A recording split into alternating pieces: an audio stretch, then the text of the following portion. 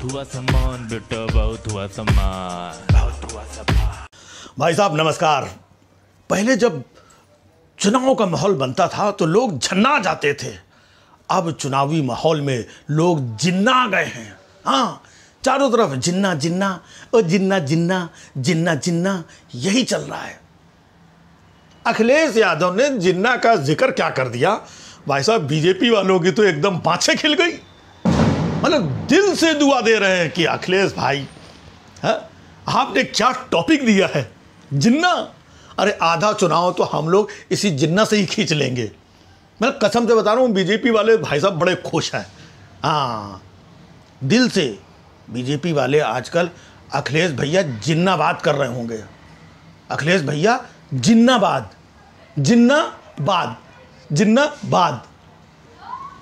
और वो जो हमारे केशव प्रसाद मौर्य जी हैं, उप मुख्यमंत्री बिना काम के तो जब कभी आते हैं ना बीच में कुछ कुछ अपना बोल जाते हैं, है ना, दिवाली के टाइम है, फुलझड़ी छोड़ जाते हैं तो उन्होंने भाई साहब फुलझड़ी छोड़ी। कहने लगा कि ये जो जिन्ना का ज़िक्र कर रहे हैं अखिलेश जी, ये अखिलेश यादव नहीं हैं, ये अखिलेश अली हैं।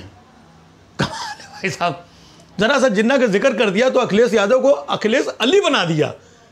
भाई साहब ये सोचिए हमारे आदरणीय, माननीय, सम्माननीय वरिष्ठ नेता श्री लाल कृष्ण आडवाणी जी तो जिन्ना साहब की मजार में पाकिस्तान गए थे, उनकी मजार में फूल चढ़ाया था उन्होंने।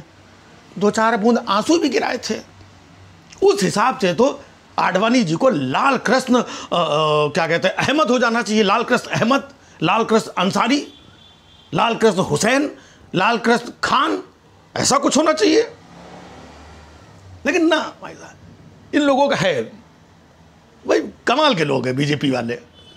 मतलब ये दोनों तरफ़ से मलाई खाते हैं। इधर गांधी भी इधर गोडसे भी। गांधी भी, गोडसे भी। गांधी भी, गोडसे भी।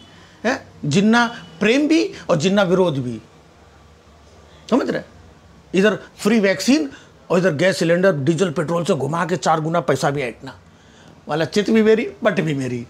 ये तेरा जिन्ना, ये मेरा जिन्ना। जिन्ना जिन्ना और जिन्ना जिन्ना। ये चल रहा भाई साहब। मुझे समझ में नहीं आ रहा है। मैंने इधर उधर ढूँढने की कोशिश की, अखिलेश यादव ने ऐसा कहा क्या है? तब मुझे पता चला कि अखिलेश यादव ने एक बात कही कि जिन्ना, पटेल और नेहरू जी और एक आधे लोगों को जो भी नाम लिया, कि ये लोग विदेश में एक ही इंस्टीट्यूट से बैरिस्टर की पढ़ाई करके इधर फ्रीडम फाइटिंग में साथ में लोग लगे थे। ऐसा कुछ बोला था उन्होंने। मैंने कहा, यार, इसमें ऐसी कौन सी नाराज़गी वाली बात है फिर मुझे समझ में आया, बात है उन्होंने इंस्टीट्यूट, पढ़ाई, लिखाई, बैरिस्टर, ये सब बड़ी बड़ी बातें की इससे तो भाई साहब गुस्सा आएगा ही हुँ? कि बाकी सब बात करो इन लोगों से पढ़ाई, लिखाई की बात मत करो हाँ? जब यहाँ पर दसवीं वाले, बारहवीं वाले, ये डिग्री वाले, वो डिग्री वाले, फर्जी डिग्री वाले लोग आराम से सब काम चला रहे हैं हैं? अपना देश का भी है तो पढ़ाई लिखाई की बात क्यों कर रहे हैं? तो मुझे लग रहा है जिन्ना के चक्कर में लोग गुस्साए नहीं है पढ़ाई लिखाई की बात कर दी है। बस भाई साहब, इसी चक्कर में लोग गुस्सा हो गए। वरना मतलब ऐसा क्या कह दिया? है? क्योंकि वो जिन्ना साहब के मज़ार पे जाकर के फूल चढ़ाने से, दो बूंद आँसू टपकाने से बड़ा कुछ होना चाहिए, तब समझ में आता। मतलब ऐसा तो नहीं कहा कि अखिलेश यादव ने कि नहीं। जिन्ना की जन्म जयंती यहाँ पर हिंदुस्तान में मनानी चाहिए, छुट्टी होनी चाहिए उस दिन या हम जिन्ना को आदर्श मानते हैं, ऐसा तो नहीं कहा, है? या जिन्ना जी का स्टेचू साढ़े तीन हज़ार करोड़ की लागत से चाइनीज़ स्टेचू अहमदाबाद में लगना चाहिए, या लाल किले के पास लग, ऐसा भी कुछ नहीं बोला जरा सा उन्होंने जिन्ना का ज़िक्र क्या कर दिया, भाई साहब इन लोगों की बातें खिल गई, ये लोग अपना जिन्ना जिन्ना है?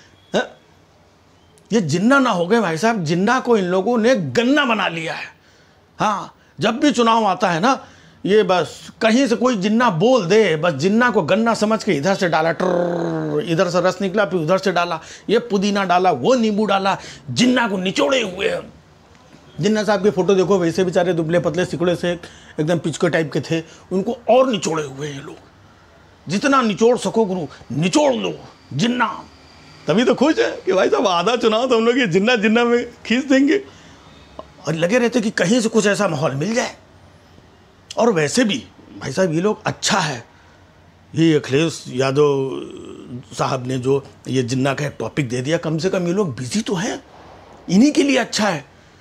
क्योंकि अब ये लोग चारों तरफ़ जिन्ना जिन्ना चल रहा है डिबेट चल रही है जिन्ना पे जिन्ना पे ये कमेंट्स कर रहे हैं, जिन्ना पे वो कमेंट्स कर रहे हैं अपने अपने भाव रख रहे हैं। सब कुछ जिन्ना जिन्ना जिन्ना चल रहा है। अगर ये जिन्ना ना होते तो कहीं ना कहीं लोग बेरोजगारी की बात करते, विकास की बात करते, महँगाई की बात करते हुँ? जो ऑक्सीजन नहीं मिली और जो लोग इतने कोरोना में निपट गए, गंगा में लाशें, ये वो इनकी बात करते।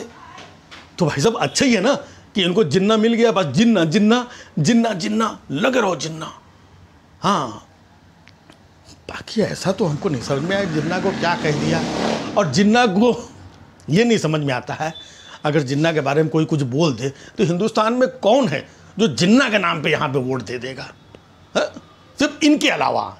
ये तो जिन्ना से भी क्या गन्ना से वोट निकाल लेते हैं? हाँ? सबसे वोट निकाल लेते हैं। तो भाई साहब लगे रहो। ये तेरा जिन्ना ये मेरा जिन्ना। जिन्ना जिन्ना। बहुत हुआ सम्मान बेटा बहुत हुआ सम्मान। बहुत हुआ सामान